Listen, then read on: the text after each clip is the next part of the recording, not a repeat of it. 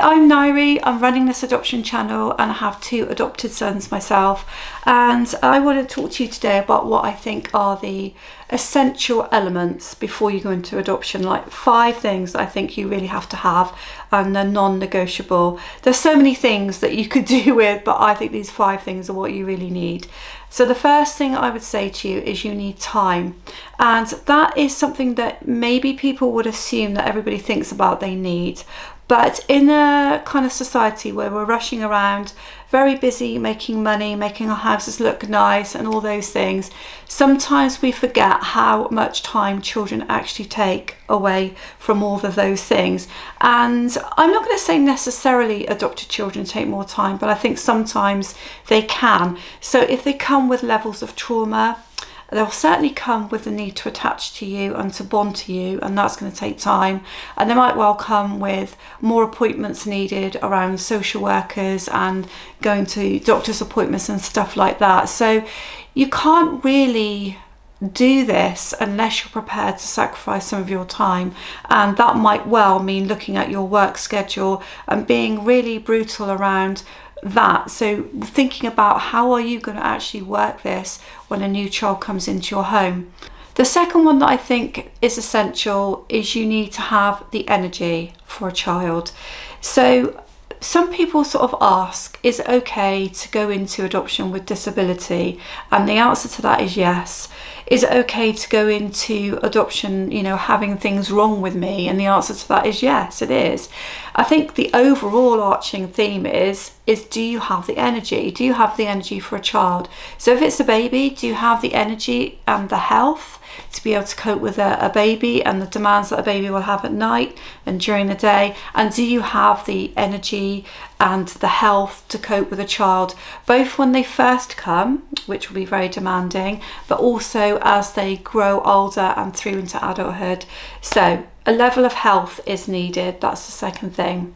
The third thing is I think some people may go into adoption with rose tinted glasses and it's almost like the thing to do. Now, I'm sure there aren't many people like that, but I do think that if you're going to adopt, you have to go into it knowing that you have a real desire to love a child and that it's not just that you're going to have a child, that you're going to go into it and you're going to have this love for a child. Now, you don't know this child yet, but you need this kind of like burning passion that you are going to love an adopted child and um, it kind of needs to be innate within you. You can't go into it lightly. It's a bit like when you hear during marriage vows, it's not to be taken lightly. And that's what I'd say about adoption. It has to be something that you really examine in your heart, that you're going to be able to uh, really go into this with a lot of love in your heart. That's number three. Number four is, and possibly I would say the most crucial of all, is resilience. So any parent that has a new child needs a level of resilience, yes.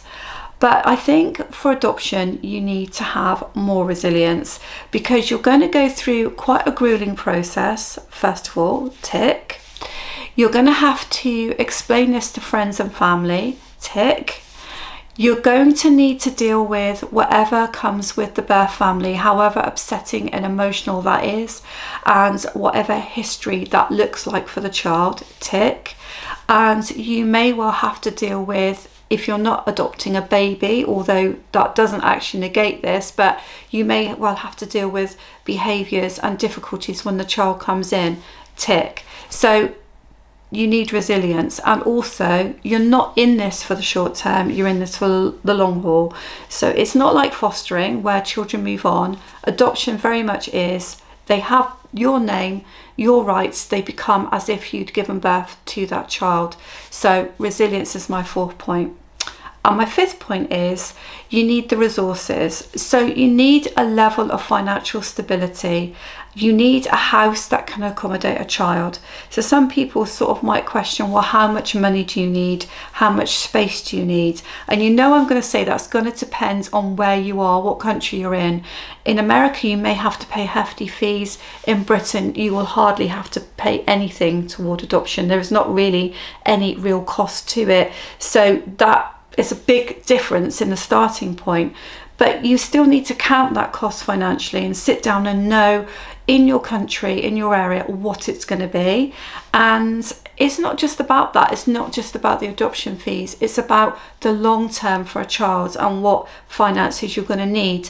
And you don't need to give this child everything, but you need to know who's going to be bringing the earnings in, where the money's going to come from, and that you're stable. And you need to have a house that's adaptable for a child most places will say you need to have a spare bedroom for the child and they're not going to be able to share. That might not be everywhere, but most places will say that. So your house needs to have that space for a child and you need to think about are you going to be able to afford to buy the resources that a child or a baby needs?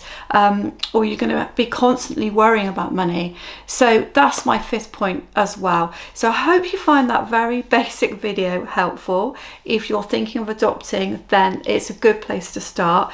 But if you're interested in adoption and all things relating to adoption processes uh, resources needed uh, adoption and bonding, therapeutic play, uh, parenting, then that you can find on my channel. So I look forward to seeing you there. Thank you.